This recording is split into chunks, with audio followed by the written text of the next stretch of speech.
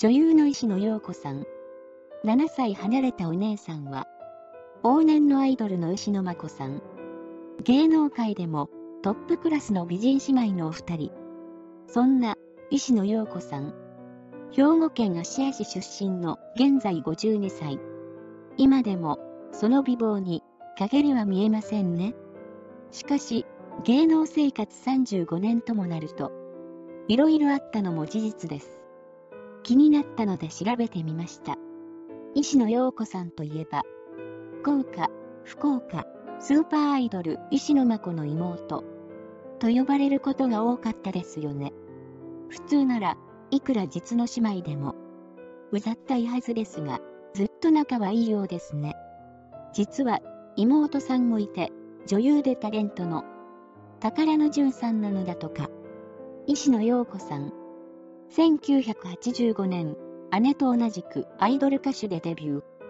デビュー曲のテディーボーイブルースは、ソウレッコの売野正夫さんと、芹沢博明さんの手掛けた曲で、すぐにドラマにも出ていましたから、相当事務所の期待も大きかったのでしょう。しかし、これといったヒット曲が出ず、1989年まで歌手活動を続けますが、その後は女優として本格的に活動していきます。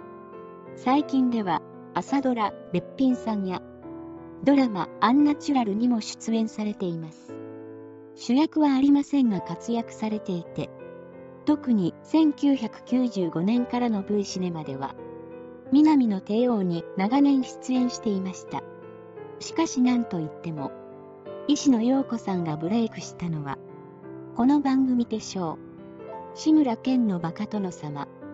志村けんの大丈夫だ。ドラマとともにいろんなバラエティ番組で、バラドルとしても活躍されていた、石野陽子さん。そんな彼女に白羽の矢を立てたのが、元ドリフターズの志村けんさん。もう有名な話ですが、番組でもとても息の合った。まるで長年連れ添った夫婦のようだった二人。実は、1987年から15年間も同棲していたと言われています。だから、あんなに息の合ったコントができたんでしょうか。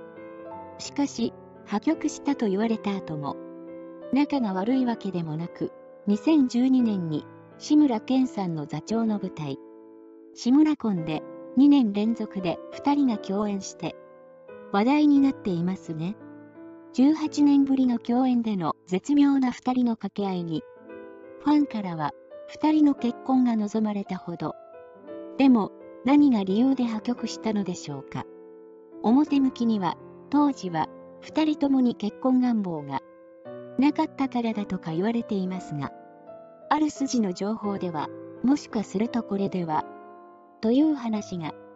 それは、石野陽子さん二股説。なんでそんなこと言うのかというと、石野陽子さんと志村けんさんが、熱愛関係だったとされた頃に、実は石野陽子さんに二股疑惑が持ち上がりました。そのお相手とは、お昼の帯番組バイキングの MC、坂上忍さん。あの毒舌キャラの坂上さんが、天使のような笑顔を持つ石野陽子さんに、健さんと二股かけられた。ぶっちゃけたからさあ大変。石野さんは全否定してましたが、そのことでとんでもないことになったようです。でも、男の方がそんなこと言うのは、メンツもありますからなかなか言えないとは思います。2012年に久々に志村さんと石野さんがテレビ番組に共演した際にどんな女性が結婚したいタイプかと聞かれて志村さんは一番俺のこと好きになってくれる人。と言ってたのも引っかかりました。確かに石野さんの二股以前にガールズバー通いするほどの志村さん。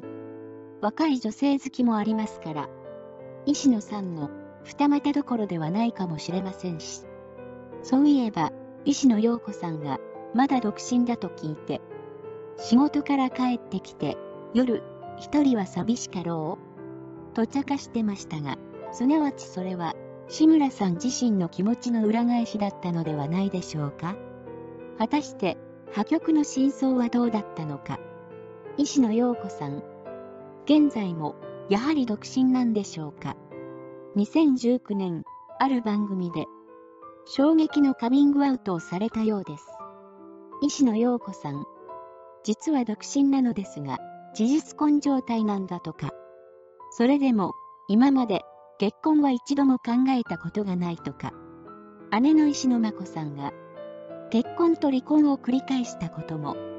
そう思う一つの要因だったのでしょうか。番組で平成のびこぶの吉村隆さんが相手は変なおじさんじゃないですよね。ととんでもないぶっ込みをしたようですがお相手は39歳から13年間お付き合いしている人だそうです。誰なのか気になりますね。石野陽子さんのテディボーイ。しかしつい数日前に志村けんさんが感染して入院されて今は人工心肺を装着して ICU で治療中だといいます。今の志村けんさんにはやはり好きな女性の笑顔が必要なのかもしれませんね。長年一緒にやってきて元気な志村さんをよく知っている。石野陽子さん。今は身内と同じような気持ちで心配されているのではないでしょうか。いかがでしたか？あなたはどう思いましたか？私は石野陽子さんと志村けんさんの「大丈夫だ」でのコントでは本当に腹の底から終わらせてもらったことを忘れていません。今でも見たら同じように笑ってしまいます。だから一日も早く志村さんには元気になってもらって石野陽子さんとの伝説のコントをまたやってもらいたいと思いますし石野陽子さんもこれからも頑張ってもらいたいと思います。2人でまたあの番組に帰ってきてくれることを期待していません。それではまた次回お会いしましょう。